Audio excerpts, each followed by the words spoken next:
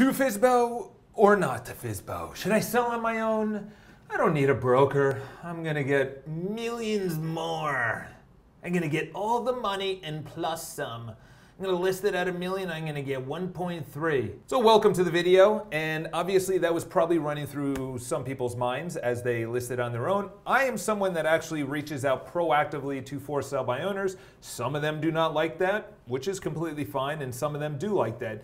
A lot of my business over the last year, actually probably a year and a half, has been coming from for sale by owners, so it's about a 60% referral, 40% for sale by owners.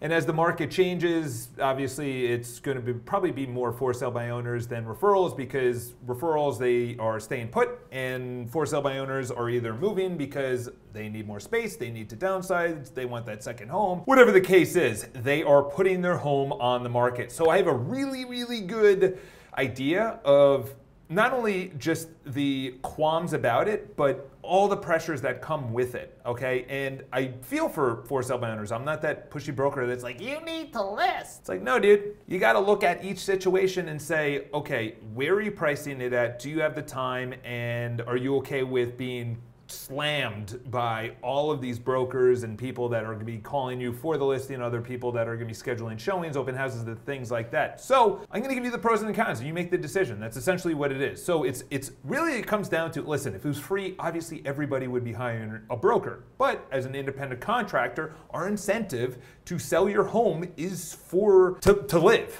That's really what it comes down to. If you don't sell your home, you're not going to be happy. If we don't sell your home, we can't pay our bills. So our incentive is way more than yours. Yours is like, I live here, I might need to sell, but I might not need to sell. Like, what's your motivation? Are you saying only if I get a certain price, I have a net on my price? Our incentive is that this is our job, this is our livelihood, this is how we pay for everything. That's our incentive. Let's go into the pros of for sale by owner.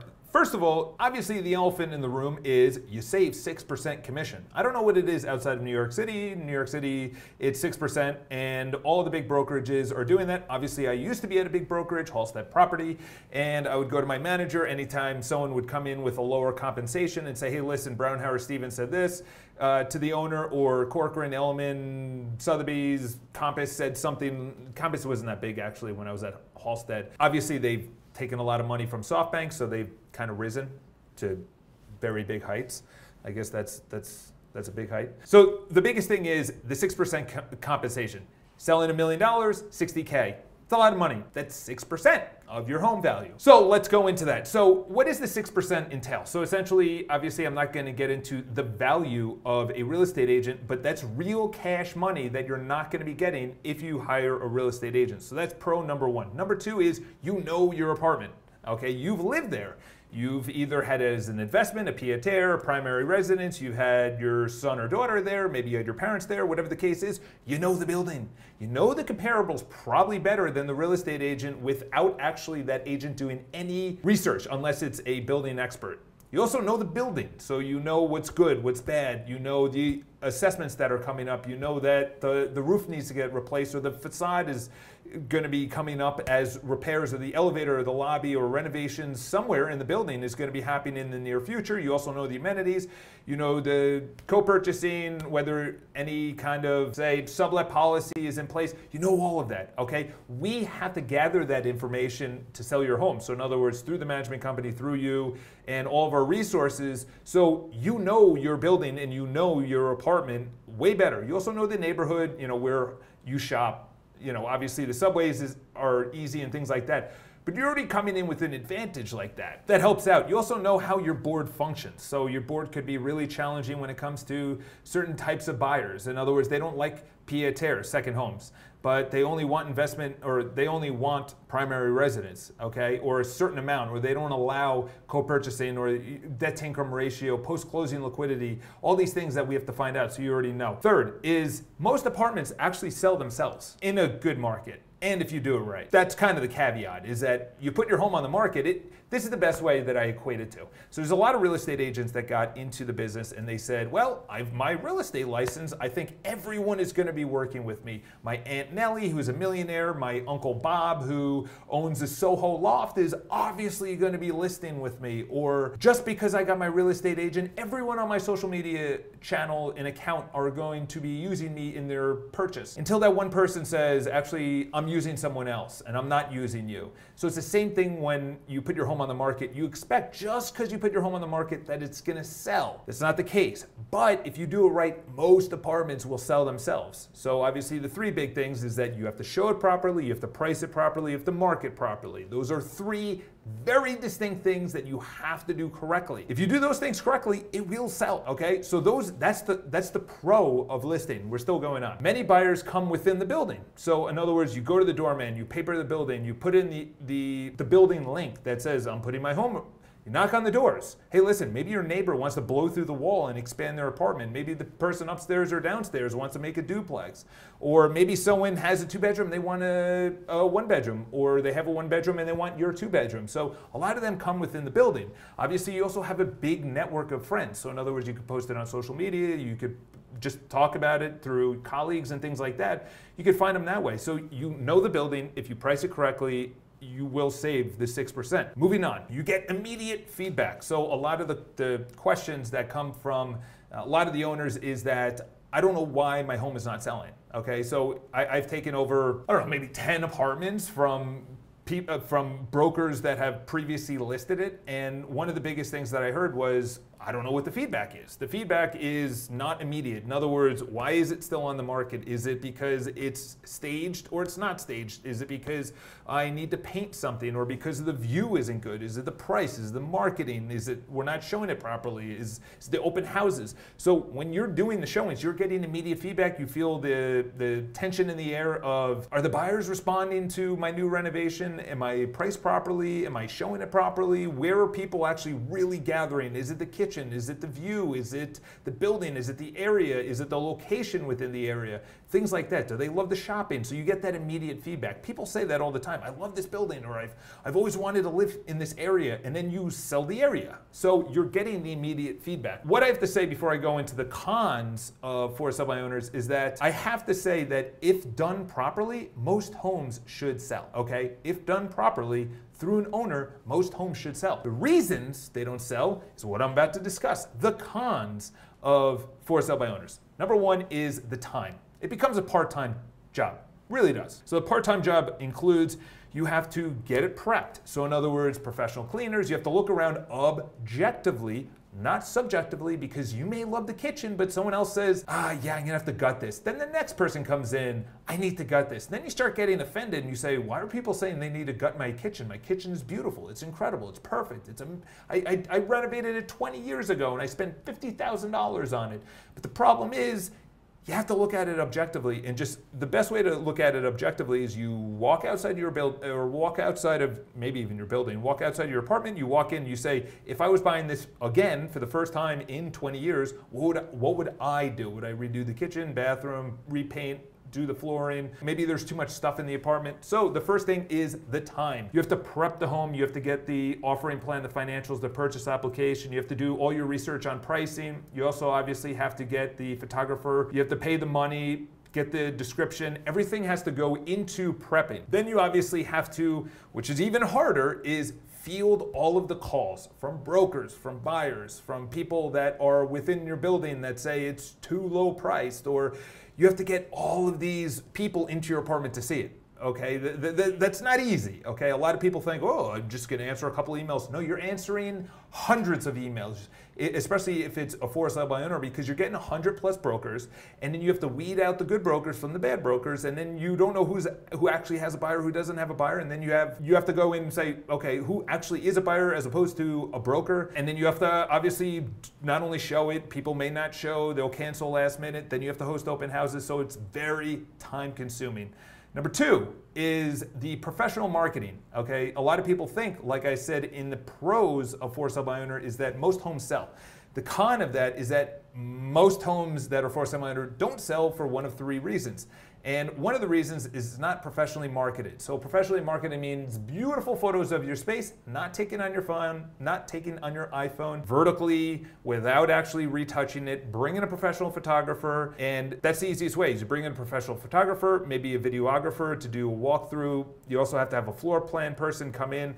It's all done to just lift your home so it seems like the price is justified. The description has to be good. So all professional marketing, obviously on StreetEasy. Moving on, number three is that there is a lack of in-market data. So in other words, a lot of people live within their building, but they are so busy, they don't look at comparables. They don't, they're, they're not really noticing how board packages are going through. In other words, are sublet policies now not allowed? Are you not allowed to co-purchase? Are students allowed in the building, parents buying for students, you know, cash only? There's so many things. Are there too many investment units? So the actual lack of market data. So market data includes price per square foot, obviously comparables, and then what's available right now. A lot of people, they don't do the research and they think they can get a certain price, but unfortunately they can't. And that's pretty much why most people actually end up listing because it's overpriced and they don't have that market data or they don't have the gall to actually put it at where the market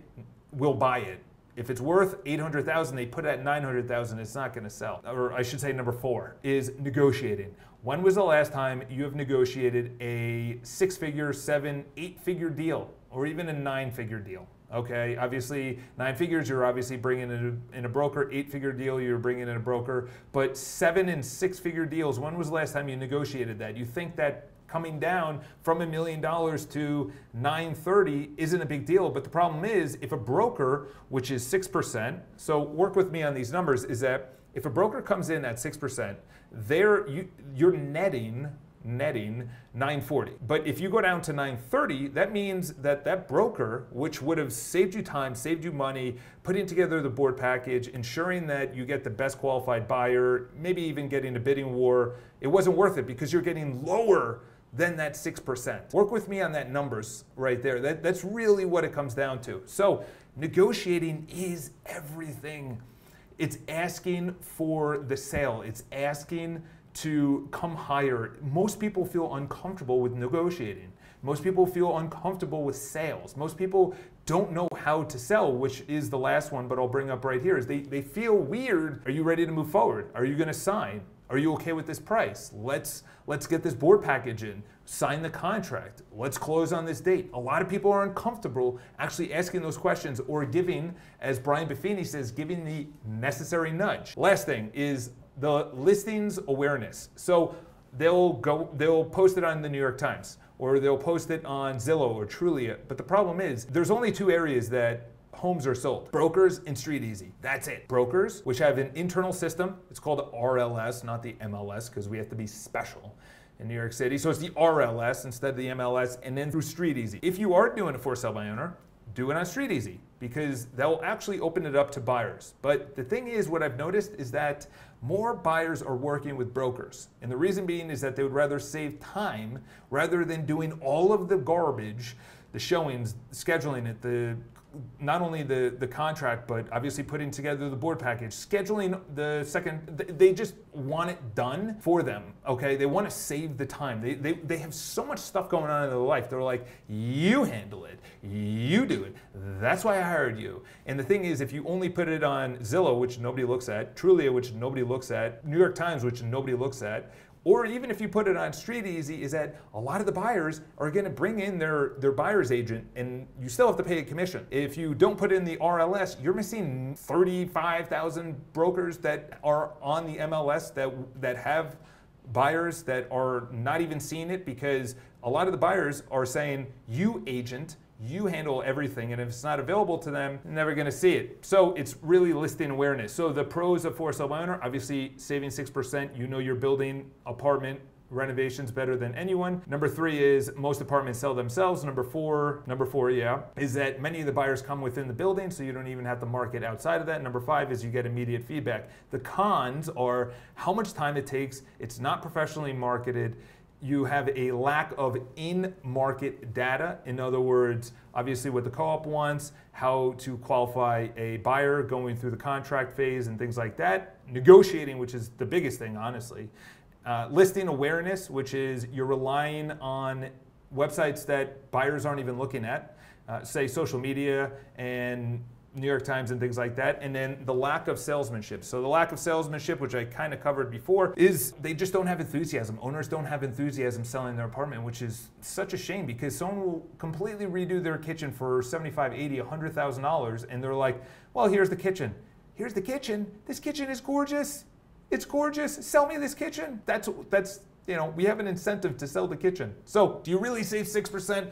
It's up to you. Do the math. If you put it on properly and you and you don't care about your time and you don't have a full-time job and you have no motivation to actually sell and it's you're fine sitting there and getting just pounded by brokers calling you every single day for the listing and you don't know who's real who's not real and then you have buyers that are coming in that are lowballing you because you're a for sale by owner think that's where you say is it worth it or not worth it so I'll leave you guys with that. Uh, actually, I'll leave you with this, which is out of, I would say, 100 for sale by owners, from my experience, is that 90 will list, five will sell, and five will go off the market. In other words, they say, I'm not going to sell it. I didn't like the price. I don't like the brokers. I, it's not the right market, or we decided to stay. So 90 are going to list with an agent. Five will sell. Five will just be taken off the market. That's completely unofficial, but that's from a year and a half of data in my brain that says you're probably going to list. It depends on the price, depends on the commission, depends on the timing. How is it being marketed? How is it being shown? How are the open houses? How's the co op? How's the area? How's the overall marketplace?